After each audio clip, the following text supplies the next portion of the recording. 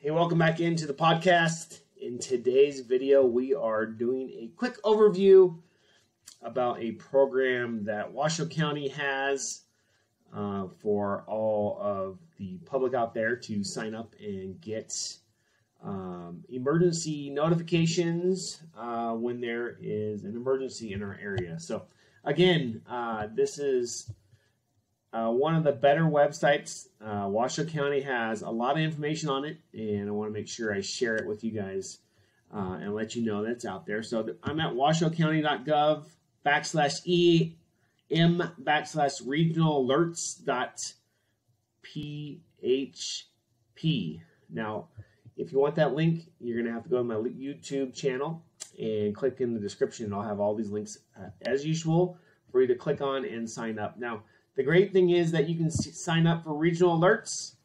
Um, when you sign up here, you create an account. It's pretty easy. It's about two to four minutes. And once you're in and signed up, you get regional notifications about code reds um, that are in our area.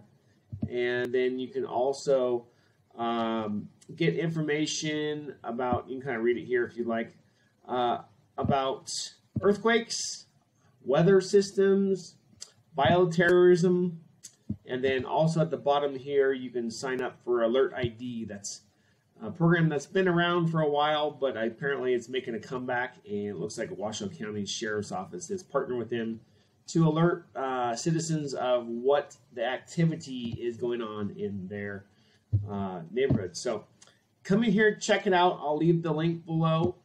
And it's just another way that you can make sure that you're getting all the information um, from the authorities uh, in the time of a crisis. Now, keep in mind, also, I, I was reading through here, it's pretty interesting that you know they're trying to get this out there because if something goes down like the airways or if there's a catastrophe or it knocks out power it's just another way that they're getting the word out so check it out let me know what you think and if you can leave a comment uh, in the post about um, what your experience is with this and anything else that you would like us to check out in future videos.